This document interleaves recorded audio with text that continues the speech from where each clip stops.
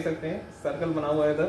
तो आज हम रदरफोर्ड स्कैटरिंग एक्सपेरिमेंट जो था, जो कि सर अर्नेस्ट रदरफोर्ड ने किया था, उसकी हम एक कॉपी करने जा रहे हैं। और ये आइडिया मुझे मिला श्री शशि कुमार बी के यूट्यूब चैनल से।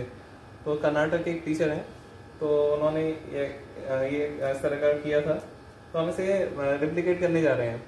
तो यहाँ पे आप देख सकते हैं कि एक पानी से भरी बोतल रखी है। इसे हम न्यूक्लियस मान रहे हैं। और ये एक एटम का की बाउंड्री है यानी कि इलेक्ट्रॉन का ऑर्बिट ठीक है? और मेरे पास यहाँ मेरे हाथ में दो स्टील की बॉल है।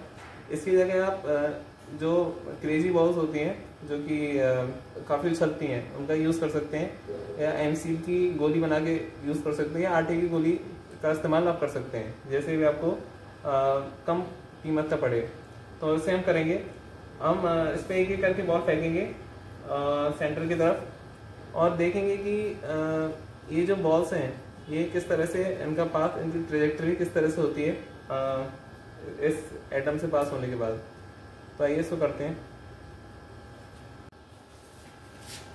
तो मैं यहाँ से एक एक करके बॉल्स फेंकूँगा और फिर ये इसकी जो बलजीत हैं वो उसकी ट्रेजेक्टरी ड्रॉ करेंगे। तो यहाँ से मैं बॉल फेंकना स्टार्ट करता हूँ।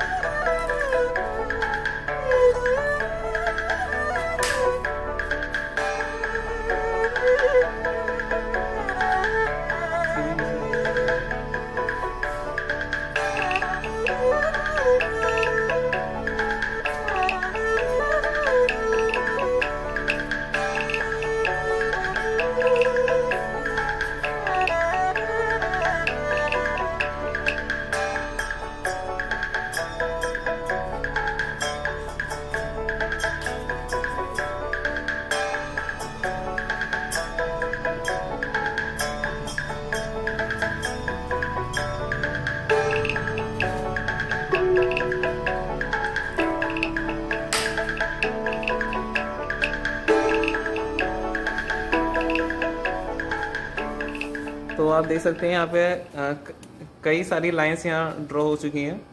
देखिए, यहाँ पे कई कई तरह की लाइंस यहाँ ड्रॉ हो चुकी हैं। तो आप देख सकते हैं, यहाँ पे कई तरह की लाइंस ड्रॉ हो चुकी हैं।